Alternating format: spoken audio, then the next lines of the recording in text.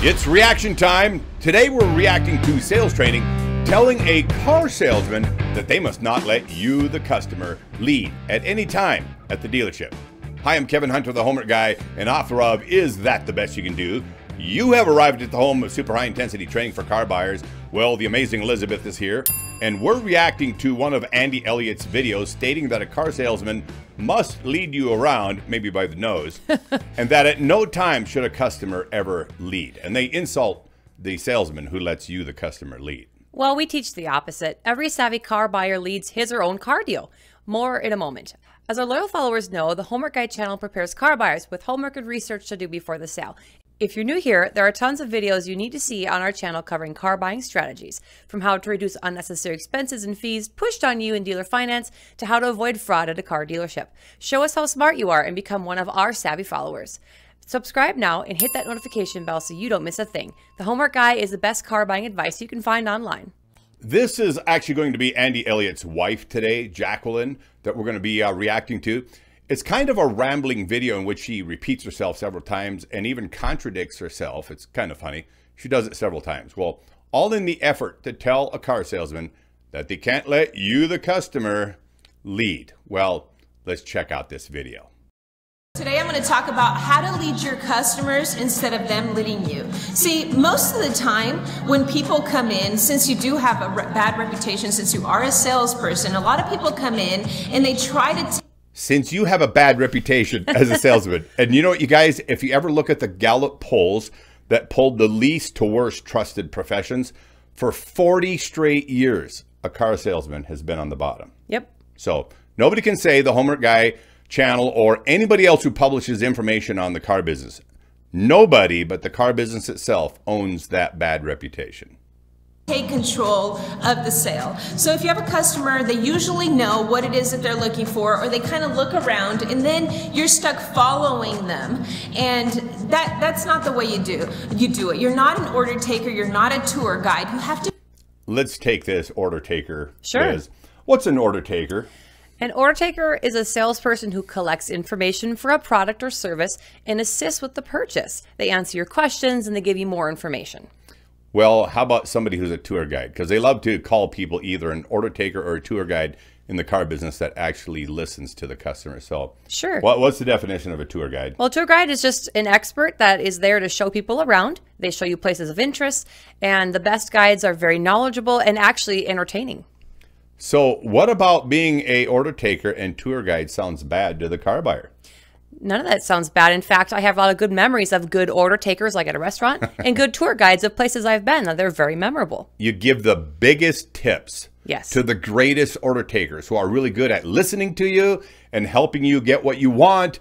And of course, somebody who's very knowledgeable about their stuff and can be a little entertaining as well. So think about that. Those kinds of people, if they existed in the car business, would do a lot better than people who follow the kind of training that Andy Elliott and Mr. Richards and others put out there because all of it's about control type stuff. We'll get into that more in just a little bit be a leader. And by being a leader, I mean just show up with the right attitude. And you have to really take it like if they're on your turf, they're in your house. So when you have somebody come visit your house and say you have somebody that hasn't seen you for a while and you kind of give them a tour of your house, you have to really understand that they're going to come in and you're going to be like, okay, here is the kitchen, make yourself at home, the bathroom, whatever it is that you're doing, but you're leading them and they are following you apparently she doesn't understand the distinction between a tour guide. Uh, here's the tour of my house. yeah, here's the tour of my house. it's hilarious.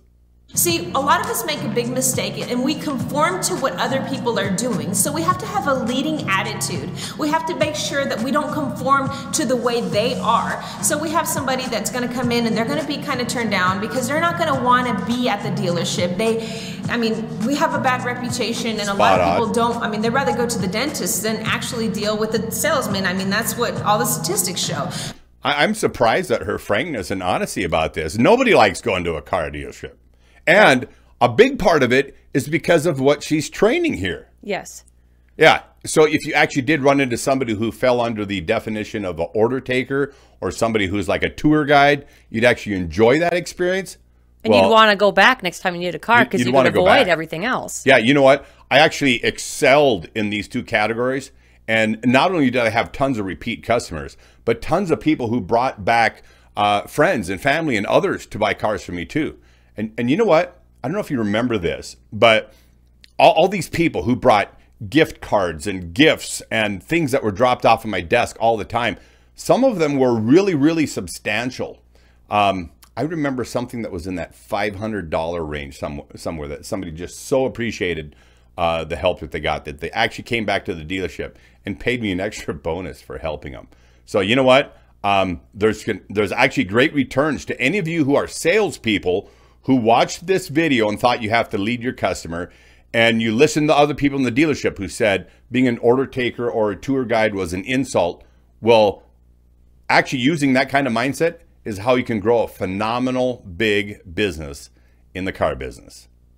So you really have to change that mold. You have to be a leader and lead with great attitude. But not only that, you have to really understand that this is your turf. This is the place that they're coming into. This is your home. So you have to treat it as that. So you have to basically lead them and show them that you care by asking them the right questions. You don't want to be an order taker. You don't want to be a tour guide. Oh no. You, you know, they're there for a reason. They're there because they because that would actually be customer service. Exactly. Yeah, and don't want to be customer service. And, and, you know, the proof to anybody who wonders, because customer service is actually a relationship that starts before the sale, goes through the sale, and Continues, well after the sale. Yeah. So think about any business that you do business with on a typical basis. You go back to businesses that provide customer service, and customer service is kind of like a, a, a lifelong promise that a business or a brand gives you. And that's the reason why you continue to do business with them because you know if there's something wrong, you can go back to fix it.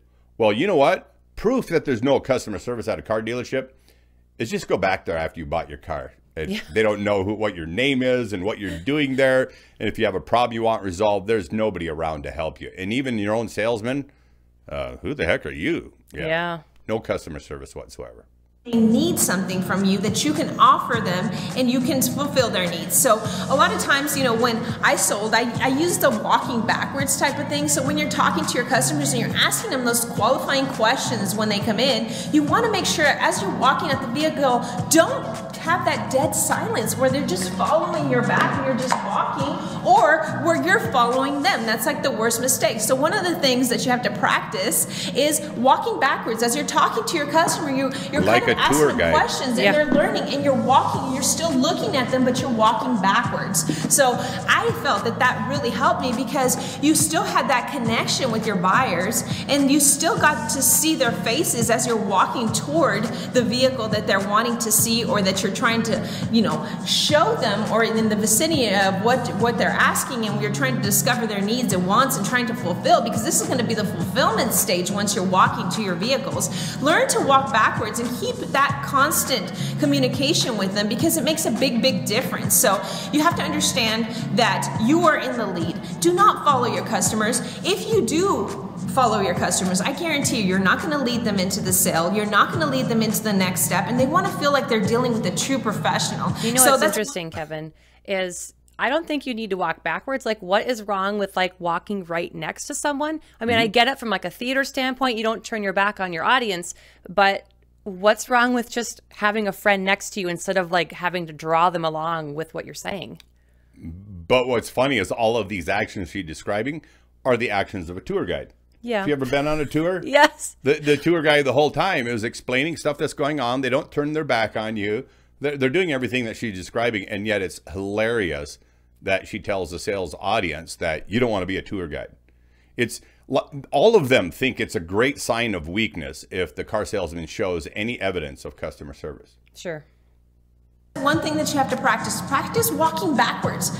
Practice leading your customers. Stay engaged. Don't leave awkward silence at all throughout the process because if and if you can do the moonwalk, that's especially nice. Yeah if you do, then that's the time that they're going to doubt themselves. That's the time when all the stuff is going to come in, the objections and everything else.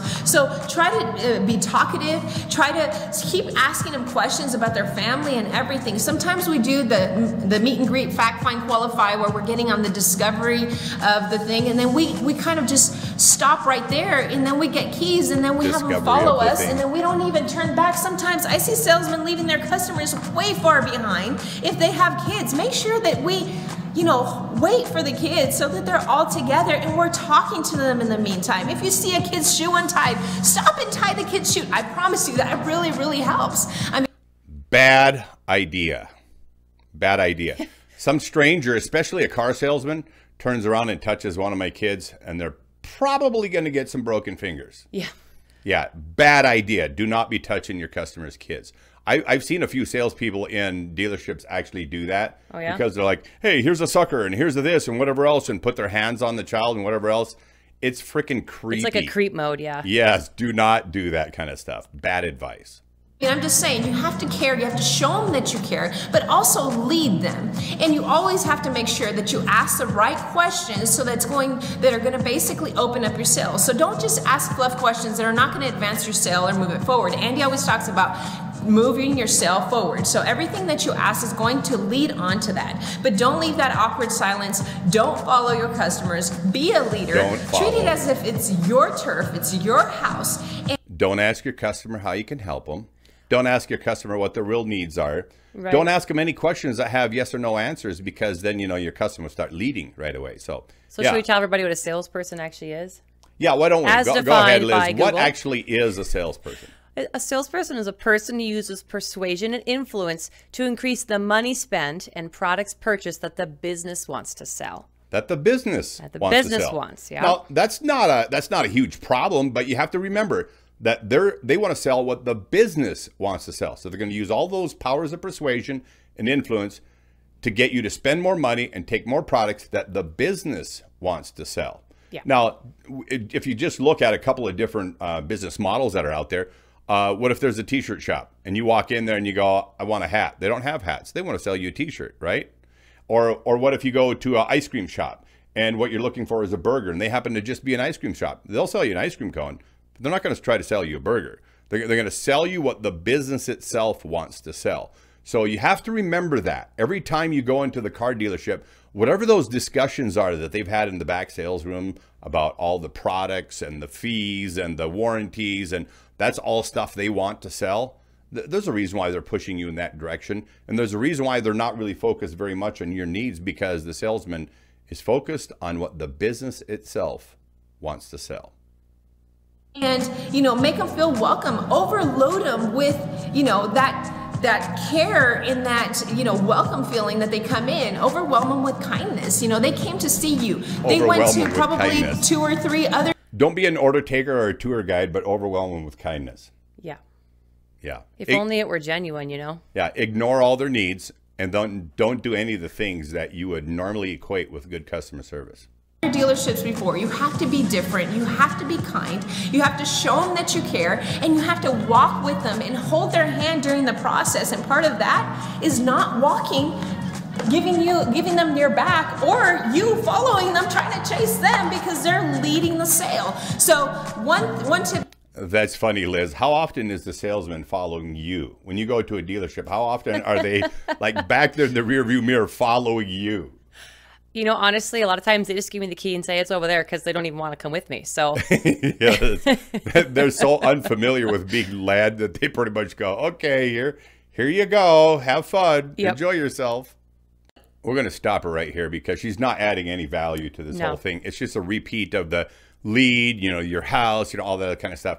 So let's just take a couple of uh, things because for those of you in our viewing audience, if you want to look some of this stuff up and actually understand, or, or maybe you're in the sales field already and you'd understand exactly where we're coming from. So there are what are, are known as essential sales skills. Yes. So something that tops the list is communication. So being a good, effective communicator and communicating straight, factual, upfront kind of information. So not just pumping people full of BS. And then the next one would be discovery. So having the ability to understand what somebody's needs are, you know, what they're looking for. Another one would be active listening. Mm-hmm. So not just active listening is well beyond just well i hear what you said active listening is bouncing something back to somebody and said so when you said blue are you talking about a navy blue or a light blue or where, where are we at on that color or when you said good gas mileage are you looking for something that gets like 35 40 miles per gallon or you know it's an suv so you're just hoping that it gets over 20 miles per gallon you qualify that kind of stuff so that's what discovery about or active listening is about And then, of course, good presentation skills fall into essential sales skills. How about business acumen and some ethics that go along with business acumen? But a good salesman will understand his business, the, the financials of his business, and re- really be able to present the nuts and bolts of what the company is doing. Another uh, key one would be negotiation. So if we could go ahead and put all those here on the screen, negotiation. Also time management and and planning for time. So Sure. it- it's it's one of the things that in the car dealership, a lot of salespeople, the managers, all of them like really really suck at it. That's why you end up, you know, two, three, four hours. Some And you're people say starving and you're hungry and tired. You just can't wait to get out of there. We just put a video out that showed one of the tactics of the dealership was the time wasting strategy. So yeah, they, they do the complete off, uh, opposite of that. And then the other part is like attentiveness. If a customer tells a salesman already a few times, like, no, I'm not ready to do this, I need to think about it, pay attention to what the customer is actually saying and validate that stuff instead of always thinking about it. I need to overcome, I need to overcome, I need to overcome. You've heard like three or four no's already. Just say, hey, clearly, this isn't something you're ready to do today. Let me help you out with some of the homework that you want to do. So find out what their concerns were and what they want to go home and think about and and suggest that they go talk to their own bank or credit union. Suggest that they have others, you know, evaluate their trade. Suggest that they fair market value the, the vehicle. If all those things are so great at your dealership, you should never ever fear a customer actually doing that homework. So now, here were the list of the essential skills, and there's others, but here are the essential sales skills. Now, think about what a car dealership focuses on with their training. So, what are the things that, that a, a car dealership will tell their car salesmen that they need to focus on, Liz? Well, first, they tell stories to get you to believe certain pieces of information. So let's say I had a tire warranty, and oh man, the roads in this state are horrible, and it saved me thousands of dollars, and I'd have to pay for these tires because they're under warranty. I had three flats in the space of 15 minutes, and I know a guy who rolled his car, and yeah, they're just like BS stories. So, Yes. storytelling is one of the things they focus on a lot in their training. What else? Yes, and Andy Elliott especially talks about objection handling. Yes, objection handling. Correct. You, you know what's interesting about that, Liz? I almost never, with all the cars that I sold, I almost never had to go into that so called process of objection handling because I was there to help the customer resolve what their issue was. Yep. I didn't have to um, handle any objections at all. And people would come back to the dealership with folders full of information ready to buy a car because they'd done all their homework. So I didn't have to focus on any objection handling at all. A lot of people would ask me, you know, Kevin, how did you handle this problem or that problem or that problem? I was like, I didn't. I took care of my customer from beginning to end, and I never had any objections. Right. Well, you weren't trying to cram someone through the process today because you weren't worried about losing them. They were going to come back because you took good care of them. all right. So storytelling, objection handling. And prospecting, how can you get everybody in your in, in your influence to come buy a car from you? your mom, your brother, your sister, your families, like they hound you to get out there and everybody you know, get them into the dealership. Yep. They talk about territory management as in I talked to that guy once 3 years ago, he's my customer. yes. How's they- that even possible? Car salespeople fight over that all the time. Yep. And the last three kind of go together persuasion, influence, and controlling your customer. Yeah, so put all that emphasis on those things. Watch any videos on Andy Elliott, and it's all around persuasion, uh, influence, control, enthusiasm. It's all that kind of stuff. Yep. So you're never going to hear him talk about um, active listening, about the art of communication, about business acumen, about being truthful and honest with people. That's not going to happen. Nope. So, very interesting stuff. So, here in conclusion, because we mentioned customer service a few times, I want to share with people, you guys can look up your own definitions of this, but customer service is really support given to the customer Yes. before, during, and after the sale. I mentioned that in the early part of this. Before, during, and after the sale to make it an easy and enjoyable experience. So when folks like Andy Elliott said he's going to give you world class customer service, was it easy and enjoyable? And eh. did he know your name before, during, and after the sale? And did you feel just as comfortable going back to get a problem resolved as you did the day you started thinking about buying a car? What was the customer service level uh, still the same? And pretty much with any dealership anywhere, the answer is no. So, talking about customer service, Liz, what would actually define good customer service? Because we've shared a few different points with people. What would actually be the definition of good customer service? You're working with someone who's a good communicator. They're good at listening to you. They have good presentation skills, and they're good at negotiating and managing your time and theirs, and they're very attentive to you. Interestingly enough, you guys, remember that list we put together about the essential sales skills? That type of salesperson is actually somebody who understands good customer service. Yep. So, really interesting. But become that salesperson, and you'll become number one in your dealership, and customers from all around the country will flock to see you. I, I think my furthest customer came from probably six states away uh, to come buy a car from me. It's not that hard, and you'll get people from all around the country to come buy vehicles from you when you actually really do uh, understand customer service. When you're willing to be an order taker, when you're a great tour guide, and you provide all of that experience so that it's easy and it's enjoyable, well, your customers just vomit information on you, and you sell cars like crazy. Yep. So just ignore all this nonsense from the Elliott camp and go lead for you car buyers. Go lead on your next car deal. Yep, stay in control and you come out a winner every time. All right, if you appreciate our video today, consider giving us that great big thumbs up and remember to always comment below on our videos. Comment down below. Comments really matter because they boost the search algorithms and the content is easier to find for others too. Add hashtag the homework guy to your comment and if you're on other platforms, look for us out there. There's a list of options here on the screen and they're linked in the description box below. If you're new here, make sure you check out all the other videos we have. We've reached over 45 million people and you might as well benefit from our great content too. And if you love what we do and want to contribute with a tip, well, the PayPal and Cash App links that you see here will be easy to find in that description box down below. And special thanks to everybody who does that. It's really awesome, you guys. Yes. But no problem if you can't do a tip. The best way to help us out is share this video with your family and friends because then they can get just as lucky as you and encourage everyone to subscribe and ring that bell too because ding, ding, ding, Ding, ding, ding. you don't miss a thing. Well, the entire Homework Guy team is here to represent you, the car buyer. We do an exceptional job of it because that's what we do every single day. Well, thanks everyone for coming back. We'll see you on our next video. You guys rock. I'm Kevin Hunter here with the amazing Elizabeth. We, We gotta, gotta go. go.